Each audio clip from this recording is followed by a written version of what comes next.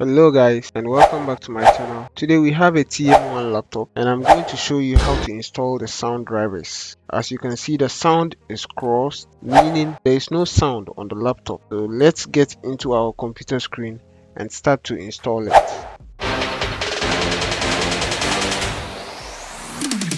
First of all, you need to download the sound drivers from this site.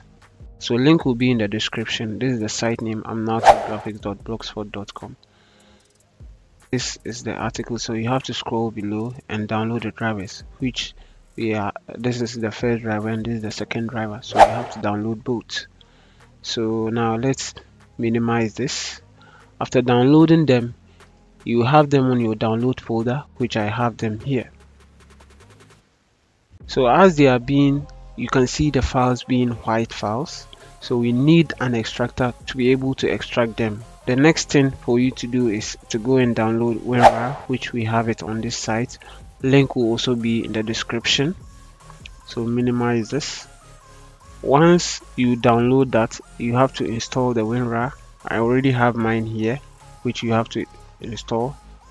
Click on yes to install it. Now just click on it. And then okay. Open the drivers folder once again.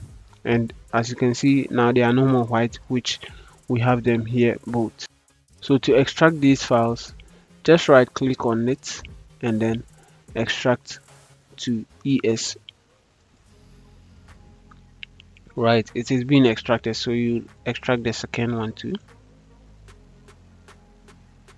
Right so we have them both on a folder. So these are them the drivers now that we have the drivers next thing is to install. Now before we start to install there are two ways to install the driver first you can install it manually or install it direct. Now i will show you both methods but to start with if you are enjoying the video smash the like button and let's continue. To do the manual installation first right click on your start button and click on device manager now on device manager you can see we have multimedia audio controller. That is the sound drivers. To do this you have to right click on it then click on update driver. And on the update driver click on browse my computer. Now here you select your destination folder where the drivers are down are being downloaded. So my drivers are located at the desktop. So you have to go to the desktop folder. But probably your own will be on the downloads folder so you have to go and select your download folder. So this is my drivers. So this you just select the folder like this and then click on ok. Then you click on next. Either way with the eh, direct installation or the manual installation it can be done. So let's go and let me go and show you how to do the direct installation. So close this.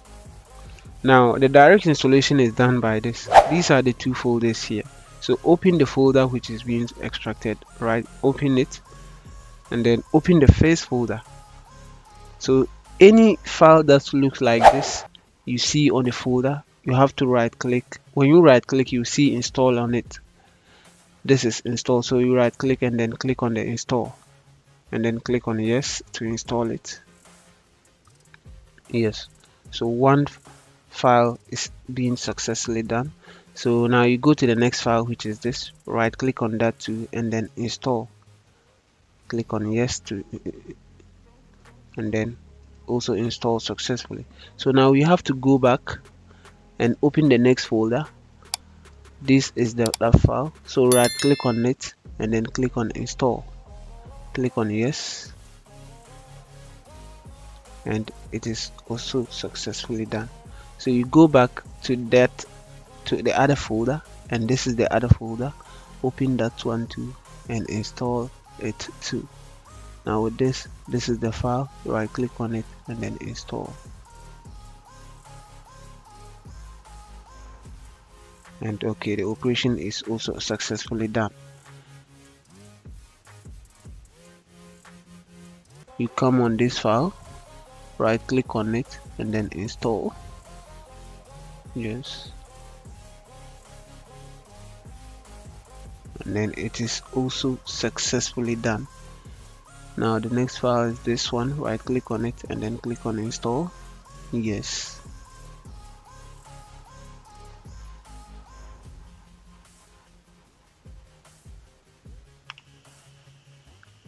And the operation is successfully done.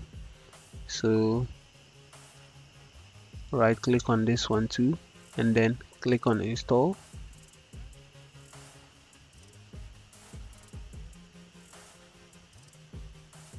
alright it is also done. Once all these are is done you have to restart the machine in order for the drivers to be installed. So let's restart the machine to see